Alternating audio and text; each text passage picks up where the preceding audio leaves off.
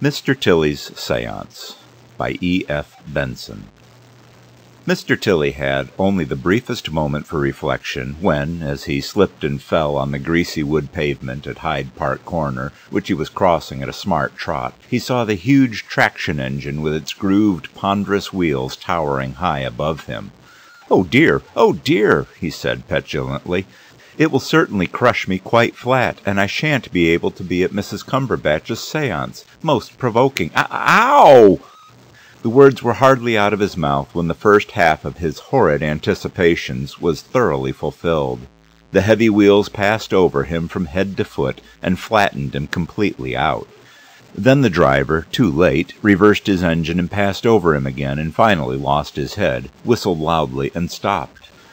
The policeman on duty at the corner turned quite faint at the sight of the catastrophe, but presently recovered sufficiently to hold up the traffic, and ran to see what on earth could be done. It was all so much up with Mr. Tilly that the only thing possible was to get the hysterical engine driver to move clear. Then the ambulance from the hospital was sent for, and Mr. Tilly's remains, detached with great difficulty from the road, so firmly had they been pressed into it, were reverently carried away into the mortuary. Mr. Tilly, during this, had experienced one moment's excruciating pain resembling the severest neuralgia as his head was ground beneath the wheel, but almost before he realized it the pain was past, and he found himself, still rather dazed, floating, or standing, he did not know which, in the middle of the road. There had been no break in his consciousness. He perfectly recollected slipping, and wondered how he had managed to save himself. He saw the arrested traffic, the policeman with white, wan face making suggestions to the gibbering engine driver, and he received the very puzzling impression that the traction engine was all mixed up with him. He had a sensation of red hot coals and boiling water and rivets all around him, but yet no feeling of scalding or burning or confinement. He was, on the contrary, extremely comfortable, and had the most pleasant consciousness of buoyancy and freedom. Then the engine puffed and the wheels went round, and immediately, to his immense surprise, he perceived his own crushed remains, flat as a biscuit, lying on the roadway. He identified them for certain by his clothes, which he had put on for the first time that morning, and one patent leather boot which had escaped demolition. "But what on earth has happened?" he said. "Here am I, and yet that poor pressed flower of arms and legs is me, or rather I also. And how terribly upset the driver looks. Why, I do believe that I've been run over. It did hurt for a moment, now I come to think of it. My good man, where are you shoving to? Don't you see me? He addressed these two questions to the policeman, who appeared to walk right through him. But the man took no notice and calmly came out on the other side. It was quite evident that he did not see him or apprehend him in any way. Mr. Tilly was still feeling rather at sea amid these unusual occurrences, and there began to steal into his mind a glimpse of the fact which was so obvious to the crowd which formed an interested but respectful ring round his body. Men stood with bared heads, women screamed and looked away and looked back again. I really believe I'm dead, he said. That's the only hypothesis which will cover the facts. But I must feel more certain of it before I do anything. Ah! Here they come with the ambulance to look at me. I must be terribly hurt, and yet I don't feel hurt. I should feel hurt, surely, if I was hurt. I must be dead. Certainly it seemed the only thing for him to be, but he was far from realizing it yet. A lane had been made through the crowd for the stretcher bearers, and he found himself wincing when they began to detach him from the road. Oh, do take care, he said. That's the sciatic nerve protruding there, surely, isn't it? Ow! No, it didn't hurt at all. My new clothes, too. I put them on today for the first time. What bad luck. Now you're holding my leg upside down. Of course all my money comes out of my trouser pocket, and there's my ticket for the seance. I must have that. I may use it after all. He tweaked it out of the fingers of the man who had picked it up, and laughed to see the expression of amazement on his face as the card suddenly vanished. That gave him something fresh to think about, and he pondered for a moment over some touch of association set up by it. I have it, he thought. It is clear that the moment I came into connection with that card it became invisible. I'm invisible myself, of course to the grosser sense, and everything I hold becomes invisible. Most interesting.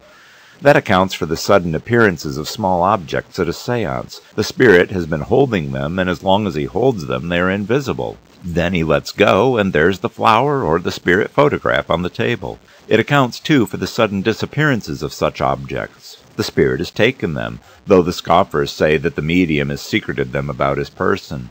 It is true that when searched he sometimes appears to have done so, but after all, that may be a joke on the part of the spirit. Now, what am I to do with myself? Let me see. There's the clock. It's just half past ten. All this has happened in a few minutes, for it was a quarter past when I left my house. Half past ten now. What does that mean exactly?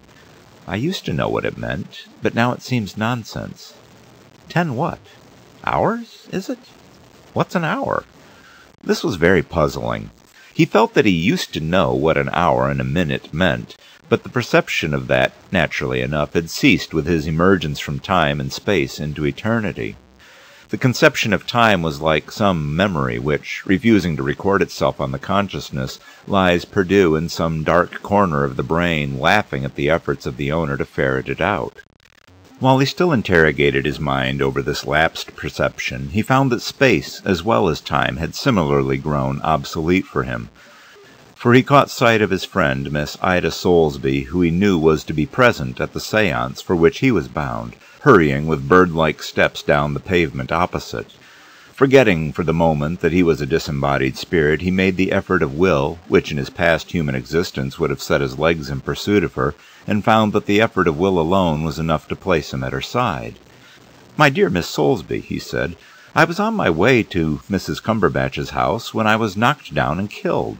It was far from unpleasant, a moment's headache. So far his natural volubility had carried him before he recollected that he was invisible and inaudible to those still closed in by the muddy vesture of decay, and stopped short. But though it was clear that what he said was inaudible to Miss Soulsby's rather large, intelligent-looking ears, it seemed that some consciousness of his presence was conveyed to her finer sense, for she looked suddenly startled, a flush rose to her face, and he heard her murmur, "Very odd. I wonder why I received so vivid an impression of dear Teddy." That gave Mr. Tilly a pleasant shock. He had long admired the lady, and here she was alluding to him in her supposed privacy as "dear Teddy." That was followed by a momentary regret that he had been killed. He would have liked to have been possessed of this information before, and have pursued the primrose path of dalliance down which it seemed to lead. His intentions, of course, would, as always, have been strictly honourable.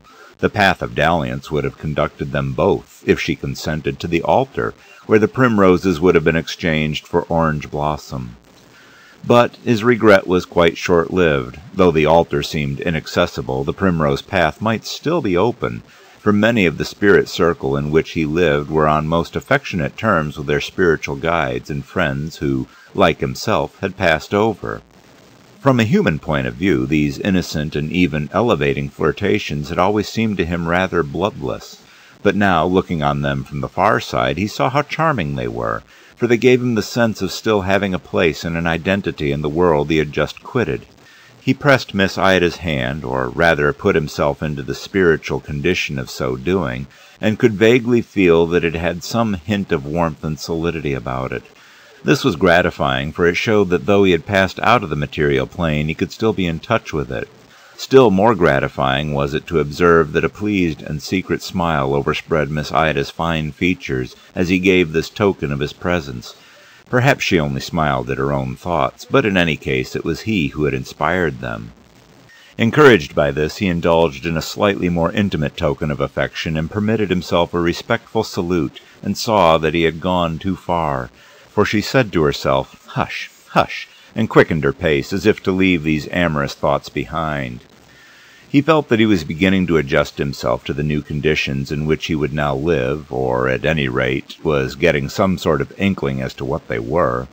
Time existed no more for him, nor yet did space, since the wish to be at Miss Ida's side had instantly transported him there, and, with a view to testing this further, he wished himself back in his flat, as swiftly as the change of scene in a cinematograph show, he found himself there and perceived that the news of his death must have reached his servants, for his cook and parlour maid, with excited faces, were talking over the event.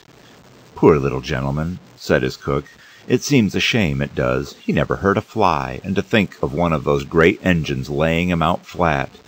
I hope they'll take him to the cemetery from the hospital. I never could bear a corpse in the house.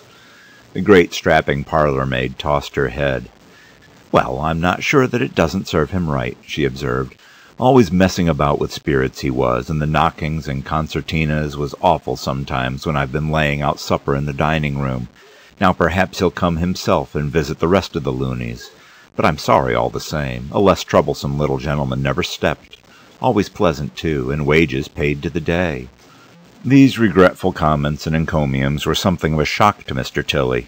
He had imagined that his excellent servants regarded him with a respectful affection as befitted some sort of demigod, and the role of the poor little gentleman was not at all to his mind. This revelation of their true estimate of him, although what they thought of him could no longer have the smallest significance, irritated him profoundly. I never heard such impertinence, he said, so he thought, quite out loud, and still, intensely earthbound, was astonished to see that they had no perception whatever of his presence. He raised his voice, replete with extreme irony, and addressed his cook. You may reserve your criticism on my character for your saucepans, he said. They will no doubt appreciate them. As regards the arrangements for my funeral, I have already provided for them in my will, and do not propose to consult your convenience. At present Lor, said Mrs. Inglis, I declare I can almost hear his voice. Poor little fellow! Husky it was, as if he would do better by clearing his throat. I suppose I'd best be making a black bow to my cap. His lawyers and what not will be here presently. Mr. Tilly had no sympathy with this suggestion. He was immensely conscious of being quite alive, and the idea of his servants behaving as if he were dead, especially after the way in which they had spoken about him, was very vexing. He wanted to give them some striking evidence of his presence and his activity, and he banged his hand angrily on the dining room table, from which the breakfast equipage had not yet been cleared. Three tremendous blows he gave it, and was rejoiced to see that his parlour maid looked startled. Mrs. Inglis's face remained perfectly placid. "Why, if I didn't hear a sort of rapping sound," said Miss Talton. "Where did it come from?" "Nonsense! You've got the jumps, dear," said Mrs. Inglis, picking up a remaining rasher of bacon on a fork and putting it into her capacious mouth. Mr. Tilly was delighted at making any impression at all on either of these impercipient females. "Talton!" he called at the top of his voice. "Why, what's that?" said Talton. "Almost hear his voice, do you say, Mrs. Inglis? I declare I did hear his voice then." "A pack of nonsense, dear," said Mrs. Inglis placidly. "That's a prime bit of bacon, and there's a good cut of it left. Why, you're all of a tremble. It's your imagination. Suddenly it struck Mr. Tilly that he might be employing himself much better than, with such extreme exertion, managing to convey so slight a hint of his presence to his parlour maid, and that the seance at the house of the medium Mrs. Cumberbatch would afford him much easier opportunities of getting through to the earth plane again. He gave a couple more thumps to the table, and, wishing himself at Mrs. Cumberbatch's, nearly a mile away, scarcely heard the faint scream of Talton at the sound of his blows before he found himself in West Norfolk Street. He knew the house well, and went straight to the drawing room which was the scene of the seances he had so often and so eagerly attended. Mrs. Cumberbatch, who had a long, spoon-shaped face, had already pulled down the blinds leaving the room in total darkness except for the glimmer of the night light which, under a shade of ruby glass, stood on the chimney-piece in front of the coloured photograph of Cardinal Newman.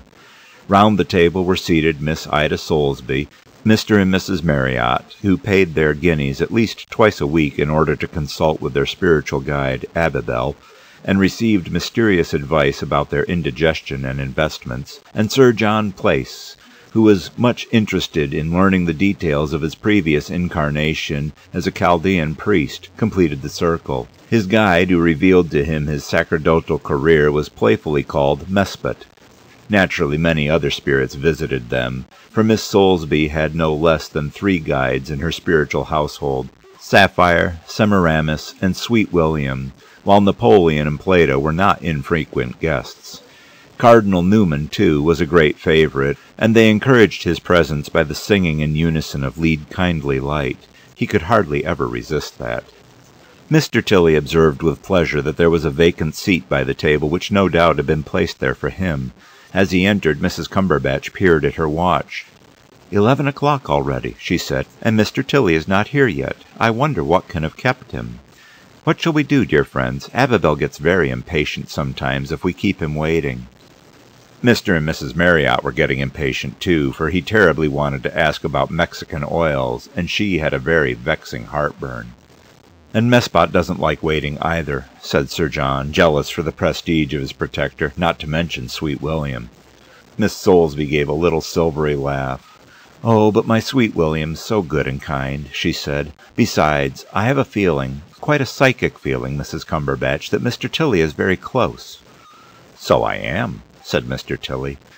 Indeed, as I walked here, continued Miss Soulsby, I felt that Mr. Tilly was somewhere quite close to me. Dear me, what's that? Mr. Tilly was so delighted at being sensed that he could not resist giving a tremendous rap on the table, in a sort of pleased applause. Mrs. Cumberbatch heard it too. I'm sure that's Abibel come to tell us that he is ready, she said. I know Abibel's knock. A little patience, Abibel. Let's give Mr. Tilly three minutes more and then begin. Perhaps if we put up the blinds, Abibel will understand that we haven't begun. This was done, and Miss Soulsby glided to the windows in order to make known Mr. Tilly's approach, for he always came along the opposite pavement and crossed over by the little island in the river of traffic. There was evidently some lately published news, for the readers of early editions were busy, and she caught sight of one of the advertisement boards, bearing in large letters the announcement of a terrible accident at Hyde Park Corner. She drew in her breath with a hissing sound and turned away, unwilling to have her psychic tranquillity upset by the intrusion of painful incidents. But Mr. Tilly, who had followed her to the window and saw what she had seen, could hardly restrain a spiritual whoop of exultation. Why, it's all about me, he said. Such large letters, too. Very gratifying. Subsequent editions will no doubt contain my name. He gave another loud rap to call attention to himself, and Mrs. Cumberbatch, sitting down in her antique chair which had once belonged to Madame Blavatsky, again heard. Well, if it isn't Abibel again, she said. Be quiet, naughty. Perhaps we had better begin. She recited the usual invocation to guides and angels, and leaned back in her chair. Presently she began to twitch and mutter, and shortly afterwards, with several loud snorts, relapsed into cataleptic immobility. There she lay, stiff as a poker, a port of call, so to speak, for any voyaging intelligence. With pleased anticipation, Mr. Tilly awaited their coming. How gratifying if Napoleon, with whom he had so often talked, recognized him and said, Pleased to see you, Mr. Tilly. I perceive you have joined us. The room was dark, except for the ruby-shaped lamp in front of Cardinal Newman, but to Mr. Tilly's emancipated perceptions the withdrawal of mere material light made no difference, and he idly wondered why it was generally supposed that disembodied spirits like himself produced their most powerful effects in the dark. He could not imagine the reason for that, and, what puzzled him still more, there was not to his spiritual perception any sign of those colleagues of his for so he might now call them, who usually attended Mrs. Cumberbatch's seance in such gratifying numbers. Though she had been moaning and muttering for a long time now, Mr. Tilly was in no way conscious of the presence of Abibel and Sweet William and Sapphire and Napoleon. They ought to be here by now, he said to himself. But while he still wondered at their absence, he saw to his amazed disgust that the medium's hand, now covered with a black glove, and thus invisible to ordinary vision in the darkness, was groping about the table, and clearly searching for the megaphone trumpet which lay there. He found that he could read her mind with the same ease, though far less satisfaction, as he had read Miss Ida's half an hour ago and he knew that she was intending to apply the trumpet to her own mouth and pretend to be Abibel or Semiramis or somebody, whereas she affirmed that she never touched the trumpet herself. Much shocked at this, he snatched up the trumpet himself and observed that she was not in trance at all, for she opened her sharp black eyes, which always reminded him of buttons covered with American cloth, and gave a great gasp. Why, Mr. Tilly, she said, on the spiritual plane, too. The rest of the circle was now singing Lead Kindly Light in order to encourage Cardinal Newman, and this conversation was conducted under cover of the hoarse crooning voices, but Mr. Tilly had the feeling that though Mrs. Cumberbatch saw and heard him as clearly as he saw her, he was quite imperceptible to the others. Yes, I've been killed, he said, and I want to get in touch with the material world. That's why I came here. But I want to get in touch with other spirits, too, and surely Abibel or Mespot ought to be here by this time. He received no answer, and her eyes fell before his like those of a detected charlatan. A terrible suspicion invaded his mind. "What? Are you a fraud, Mrs. Cumberbatch?" he asked. "Oh, for shame! Think of all the guineas I have paid you." "You shall have them all back," said Mrs. Cumberbatch, "but don't tell of me." She began to whimper, and he remembered that she often made that sort of sniffling noise when Abibel was taking possession of her. "That usually means that Abibel is coming," he said, with withering sarcasm. "Come along, Abibel, we're waiting." "Give me the trumpet," whispered the miserable medium. "Oh, please give me the trumpet." "I shall do nothing of the kind," said Mr. Tilly indignantly. "I would sooner use it myself." She gave a sob of relief. "Oh, do, Mr. Tilly," she said. "What a wonderful idea! It will be most interesting to everybody to hear you talk just after you have been killed and before they know. It would be the making of me. And I'm not a fraud at least not altogether. I do have spiritual perceptions sometimes. Spirits do communicate through me. And when they won't come through, it's a dreadful temptation to a poor woman to to supplement them by human agency. And how could I be seeing and hearing you now, and be able to talk to you so pleasantly, I'm sure if I hadn't supernormal powers? You've been killed, so you assure me, and yet I can see you and hear you quite plainly. Where did it happen, may I ask, if it's not a painful subject?" "Hyde Park Corner, half an hour ago," said Mr. Tilly. "No, it only hurt for a moment, thanks." "But about your other suggestion. While the third verse of Lead Kindly Light was going on, Mr. Tilly applied his mind to this difficult situation. It was quite true that if Mrs. Cumberbatch had no power of communication with the unseen, she could not possibly have seen him, but she evidently had, and had heard him too, for their conversation had certainly been conducted on the spirit plane with perfect lucidity. Naturally, now that he was a genuine spirit, he did not want to be mixed up in fraudulent mediumship, for he felt that such a thing would seriously compromise him on the other side, where, probably, it was widely known that Mrs. Cumberbatch was a person to be avoided. But, on the other hand, having so soon found a medium through whom he could communicate with his friends, it was hard to take a high moral view and say that he would have nothing whatever to do with her. "I don't know if I trust you," he said. I shouldn't have a moment's peace if I thought that you would be sending all sorts of bogus messages from me to the Circle, which I wasn't responsible for at all. You've done it with Abibel and Mespot. How can I know that when I don't choose to communicate through you, you won't make up all sorts of piffle on your own account?" She positively squirmed in her chair. "Oh, I'll turn over a new leaf," she said. "I will leave all that sort of thing behind me. And I am a medium. Look at me. Aren't I more real to you than any of the others? Don't I belong to your plane in a way that none of the others do? I may be occasionally fraudulent, and I can no more get Napoleon here than I can fly, but I'm genuine as well. Oh, Mr. Tilly, be indulgent to us poor human creatures. It isn't so long since you were one of us yourself. The mention of Napoleon, with the information that Mrs. Cumberbatch had never been controlled by that great creature, wounded Mr. Tilly again. Often in this darkened room he had held long colloquies with him, and Napoleon had given him most interesting details of his life on St. Helena, which, so Mr. Tilly had found, were often borne out by Lord Rosebery's pleasant volume, The Last Phase. But now the whole thing wore a more sinister aspect, and suspicion as solid as certainty bumped against his mind. "Confess," he said, "where did you get all that Napoleon talk from? You told us you had never read Lord Rosebery's book, and allowed us to look through your library to see that it wasn't there. Be honest for once, Mrs. Cumberbatch." She suppressed a sob. "I will," she said. "The book was there all the time. I put it into an old cover called Elegant Extracts but I'm not wholly a fraud. We're talking together, you a spirit and I a mortal female. They can't hear us talk, but only look at me and you'll see. You can talk to them through me, if you'll only be so kind. I don't often get in touch with a genuine spirit like yourself." Mr. Tilly glanced at the other sitters and then back to the medium, who, to keep the others interested, was making weird gurgling noises like an undervitalized siphon. Certainly she was far clearer to him than were the others, and her argument that she was able to see and hear him had great weight. And then a new and curious perception came to him.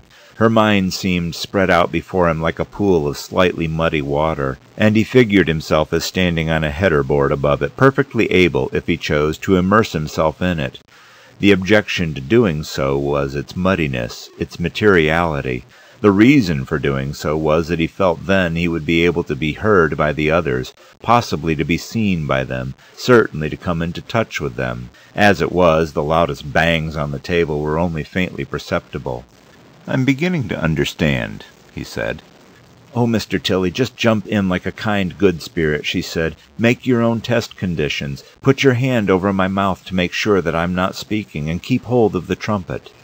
And you'll promise not to cheat any more? he asked. Never. He made up his mind. All right, then, he said, and, so to speak, dived into her mind. He experienced the oddest sensation.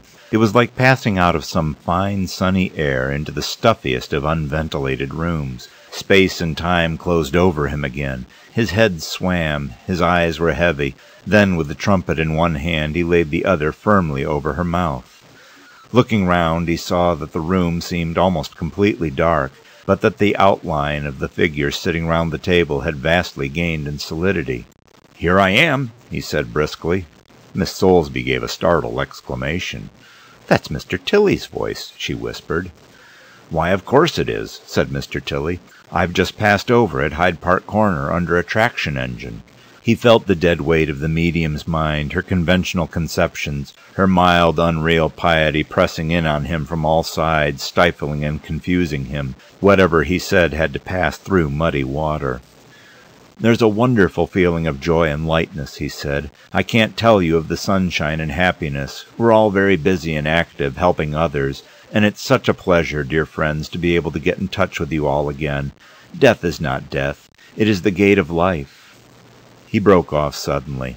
"Oh, I can't stand this," he said to the medium.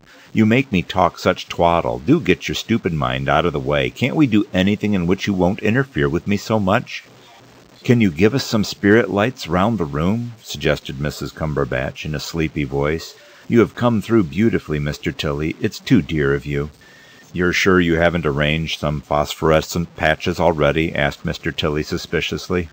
"Yes, there are one or two near the chimney piece," said Mrs. Cumberbatch, "but none anywhere else. Dear Mr. Tilly, I swear there are not. Just give us a nice star with long rays on the ceiling."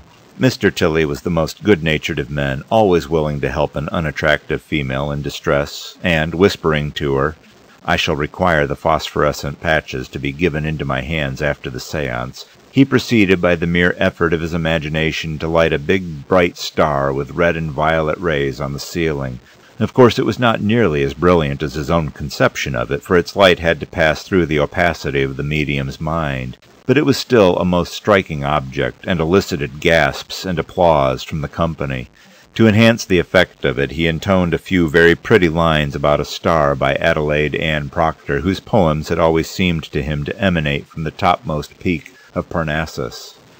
"Oh, thank you, Mr. Tilly," whispered the medium. "It was lovely. Would a photograph of it be permitted on some future occasion, if you would be so kind as to reproduce it again?" "Oh, I don't know," said Mr. Tilly irritably. "I want to get out. I'm very hot and uncomfortable, and it's all so cheap." "Cheap!" ejaculated Mrs. Cumberbatch. "Why, there's not a medium in London whose future wouldn't be made by a real, genuine star like that, say twice a week. "But I wasn't run over in order that I might make the fortune of mediums," said Mr. Tilly. "I want to go. It's all rather degrading, and I want to see something of my new world. I don't know what it's like yet." "Oh, but Mr. Tilly," she said, "you told us lovely things about it, how busy and happy you were." "No, I didn't. It was you who said that. At least it was you who put it into my head." Even as he wished, he found himself emerging from the dull waters of Mrs. Cumberbatch's mind. "There's a whole new world waiting for me," he said. "I must go and see it. I'll come back and tell you, for it must be full of marvellous revelations." Suddenly he felt the hopelessness of it.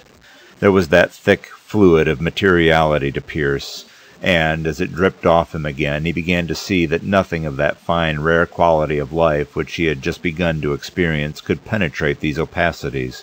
That was why, perhaps, all that thus came across from the spirit world was so stupid, so banal.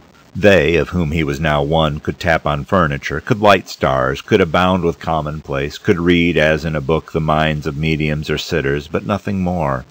They had to pass into the region of gross perceptions in order to be seen of blind eyes and be heard of deaf ears. Mrs. Cumberbatch stirred. The power is failing, she said in a deep voice which Mr. Tilly felt was meant to imitate his own. I must leave you now, dear friends. He felt exasperated. The power isn't failing, he shouted. It wasn't I who said that. Besides, I have got to see if it's true. Goodbye. Don't cheat any more. He dropped his card of admittance to the seance on the table and heard murmurs of excitement as he floated off. The news of the wonderful star and the presence of Mr. Tilly at the seance within half an hour of his death, which at the time was unknown to any of the sitters, spread swiftly through spiritualistic circles. The Psychical Research Society sent investigators to take independent evidence from all those present, but were inclined to attribute the occurrence to a subtle mixture of thought transference and unconscious visual impression when they heard that Miss Soulsby had, a few minutes previously, seen a news boy in the street outside recording the accident at Hyde Park Corner. This explanation was rather elaborate, for it postulated that Miss Soulsby, thinking of Mr. Tilly's non arrival, had combined that with the accident at Hyde Park Corner, and had probably, though unconsciously, seen the name of the victim on another news broad, and had transferred the whole by telepathy to the mind of the medium. As for the star on the ceiling, though they could not account for it, they certainly found remains of phosphorescent paint on the panels of the wall above the chimney piece, and came to the conclusion that the star had been produced by some similar contrivance. So they rejected the whole thing, which was a pity, since, for once, the phenomena were absolutely genuine. Miss Soulsby continued to be a constant attendant at Mrs. Cumberbatch's seances, but never experienced the presence of Mr. Tilly again. On that the reader may put any interpretation he pleases, but it looks to me somewhat as if he had found something else to do. But he had emerged too far, and perceived that nobody except the medium heard him. "Oh, don't be vexed, Mr. Tilly," she said. "That's only a formula. But you're leaving us very soon. Not time, just for one materialization? They are more convincing than anything to most inquirers." "Not one," he said. "You don't understand how stifling it is even to speak through you and make stars. But I'll come back as soon as I find there's anything new that I can get through to you. What's the use of my repeating all that stale stuff about being busy and happy? They've been told that enough